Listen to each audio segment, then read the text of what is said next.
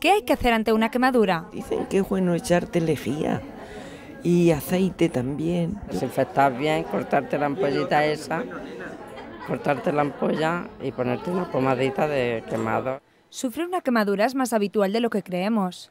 La mayoría se producen en el hogar, en la cocina, comedor o baño, porque las más frecuentes ocurren mientras emplatamos o por imposibilidad de salir del agua caliente. Pero ¿cómo hay que tratarla?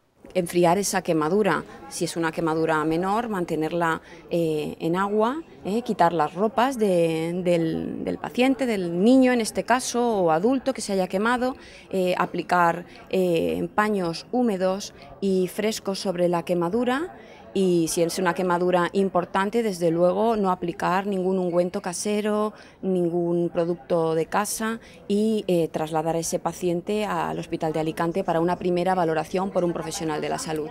Todos somos susceptibles de sufrir quemaduras, pero las personas mayores, discapacitadas y niños son los que más las padecen y sus secuelas son diferentes. Las quemaduras de primer grado eh, no dejan secuelas instantáneas, pero sí las dejan a largo plazo, como son las quemaduras solares, que pueden producir manchas, pecas, arrugas, fotoenvejecimiento e incluso cáncer de piel.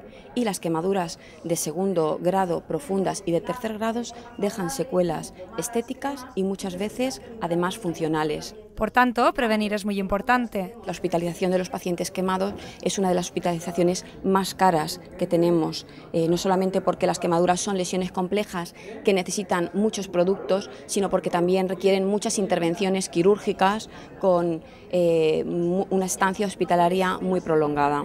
De todo esto se ha hablado en una charla sobre prevención de quemaduras ofrecida en Alicante. Lo que queremos es hablar desde las quemaduras de la perspectiva de la prevención, algo que es muy importante porque parece que lo que no pasa nunca, cuando pasa, pues es una situación muy grave para las personas, algo que además suele marcar el resto de la vida de las personas. Creo que es fundamental el formar a la población y que enfermería no solo llegue a la comunidad de una forma asistencial, sino también en el tema de la promoción de la salud y la prevención de la las enfermedades. Y ahora que estamos en verano no hay que olvidar la necesidad de protegernos frente al sol, porque las quemaduras solares también dejan huella en nuestra piel y una de ellas es el aumento de la posibilidad de desarrollar un cáncer de piel.